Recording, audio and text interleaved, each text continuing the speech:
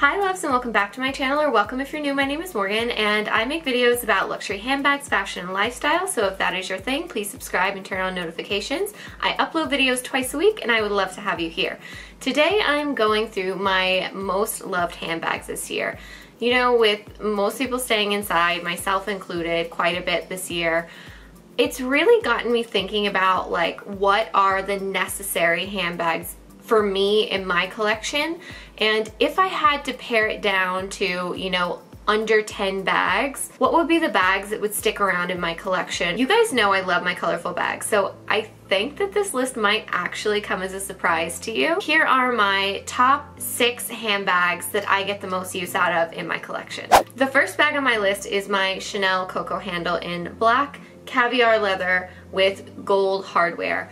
This bag replaced my dream of having that black classic medium Chanel that I think most handbag collectors and designer lovers aspire to have in their collection.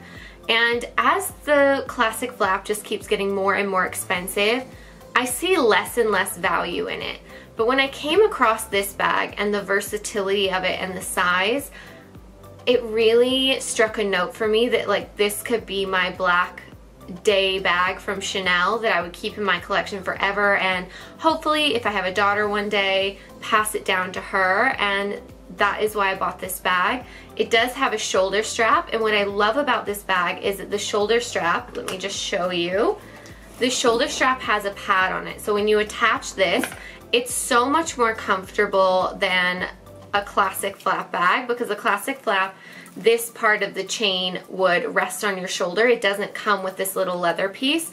So I really highly recommend this bag if you're looking for a day bag. I know it's a different silhouette and some people aren't a fan of this silhouette of the bag, but I personally love it. I think it's very ladylike, it's very timeless, it's very beautiful, and it has more versatility in how you can wear it.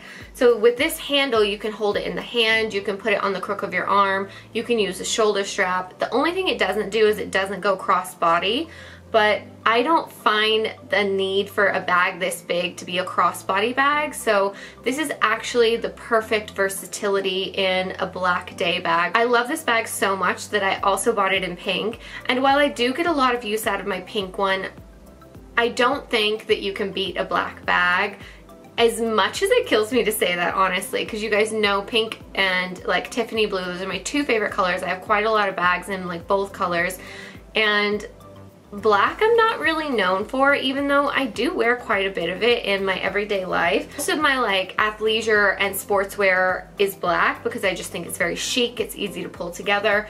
And so this bag really does fit well in my wardrobe, whether you would think it does or not.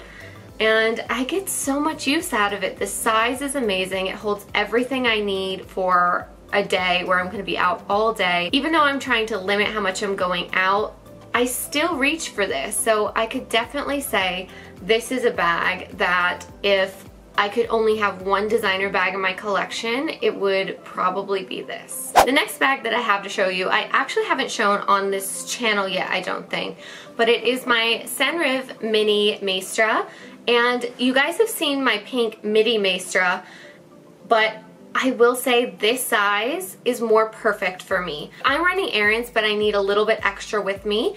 This is the bag I take. This is a bag that I take when I'm going to the salon or I'm going to get my nails done. I used to have a white Givenchy bag in a patent leather and I thought, oh, if I'm getting a white bag, patent leather would be best. But the patent leather here in Dubai doesn't hold up very well and it kind of got discolored just after about a year and a half of use. And then I just wasn't loving it as much. So I got myself this mini because I knew how durable the Senreve leather is. Full disclosure, I am an ambassador with them. This bag is not gifted and this video is not sponsored by them in any way. The, the way I work with them is actually on my Instagram. I'm not required to do YouTube content. So this is actually a bag that I have been getting a ton of use out of. If you do follow me on Instagram, you would have seen this on my stories quite a bit. I love pairing this with my black athleisure wear to make the logos pop. And typically when I'm running errands, I'll be in athleisure, whether it's biker shorts or you know, joggers or something like that. So this is just my perfect errands bag and it's also super versatile. Strap is convertible so you can make this a backpack or you can wear it on your shoulder. I love this size for crossbody. The midi size, the one that I have in pink, can also go crossbody, but I feel like that bag is a bit big, at least on my body. For a mini bag, this fits quite a lot. I can fit a water bottle in here kind of on the side like this. There's tons of pockets to stay organized. This will definitely be a bag that you will see me taking on trips once it's safe to travel again because I find it so durable and versatile and it looks good with so many outfits that it's just an easy bag to take on a trip and not have to overpack with a bunch of different bags. So for each of the bags I'm showing you, I kind of have two per category. So the first two are kind of day bags. Next, I'm gonna show you my favorite two mini bags, and then I have two tote bags to show you at the end.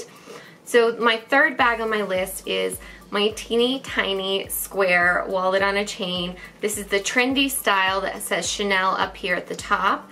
And I love this bag. There's just something about it being so small and so cute.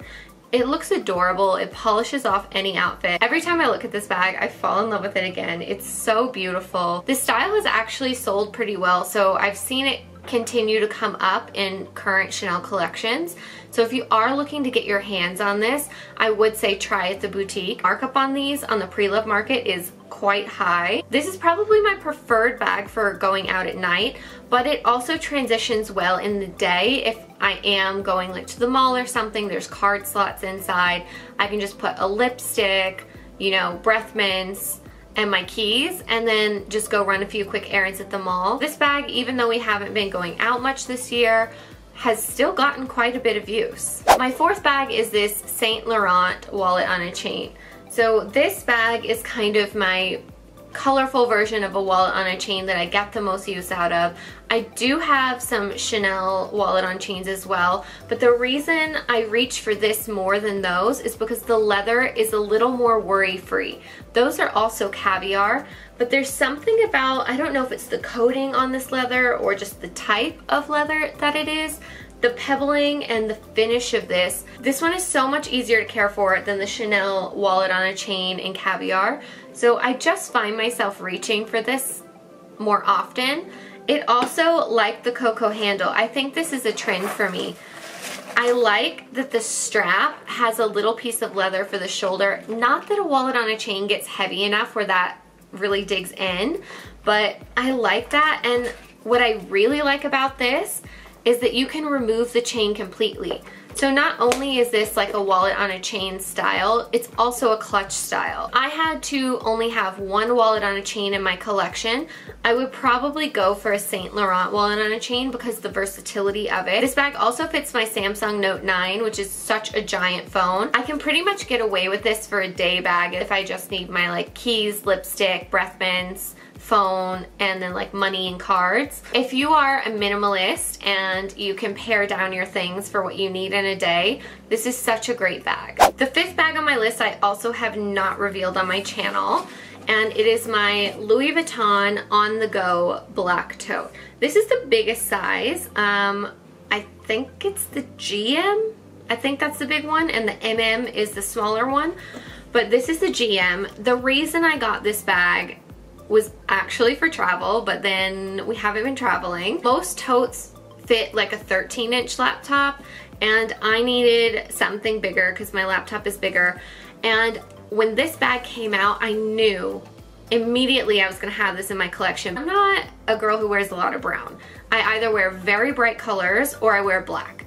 There's not really in between like beige and brown and taupes and things like that you won't catch a lot of that in my wardrobe.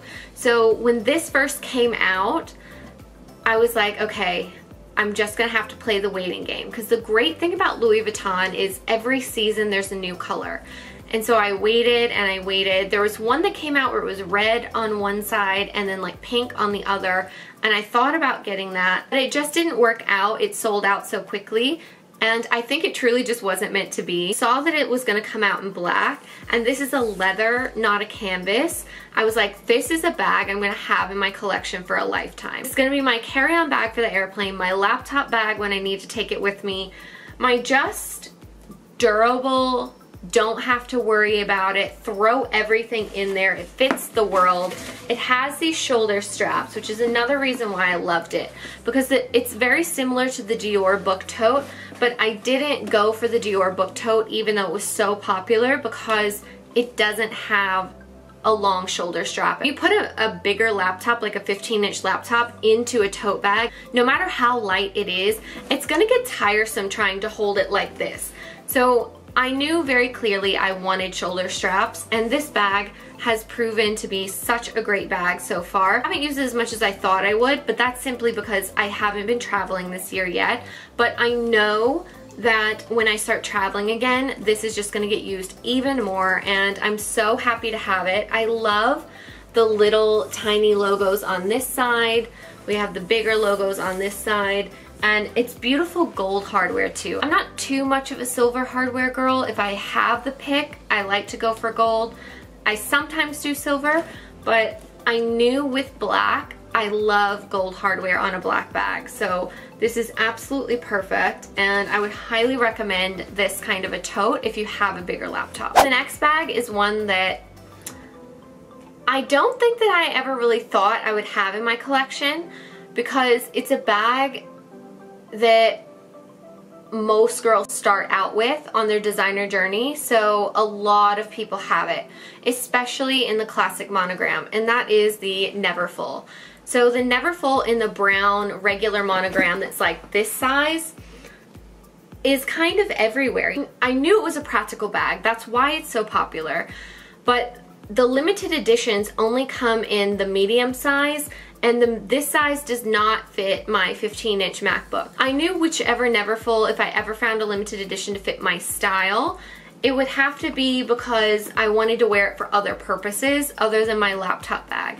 And when I saw this, I was like, I don't think I could have designed a bag that is more me than this bag. It has all the colors I love in it. It's so perfect. I've taken this to the beach. I've taken this just, you know, I've got errands. I've got to dump a ton of stuff in here. I need to take paperwork with me somewhere. This is the bag. And when I don't have a lot in there, I still just use this bag sometimes because I'll tell you why it's so popular. It's so lightweight. It's so comfortable. It's so easy to use. I get why this is a top choice for a lot of people and I've joined the club. This is my Neverfull. I'm happy to have one in my collection and it is a bag that I would recommend if you're just starting out your collection as well. It can be harder to get these limited edition Neverfulls. I think I got a little bit lucky because it launched right as lockdowns were starting and things like that. So typically, unless you have a relationship with an SA, the limited edition ones fly off the shelves and I've tried a couple in the past to get my hands on them and I wasn't able to because at that time I didn't have a relationship with an SA. The limited editions are not as accessible as the regular brown monogram print ones, but if you want something a little different, you want to stand out from the crowd, I highly recommend trying to get in touch with an SA you know, letting them know that like you're looking for a unique Neverfull and to keep you posted when they're coming out because they do these limited edition ones nearly every collection in different prints. Have to be quick and once they're gone, they're gone. But if you have a relationship with an SA, that's the best way that you can get one of these. Thank you guys so much for watching. I hope you enjoyed my list.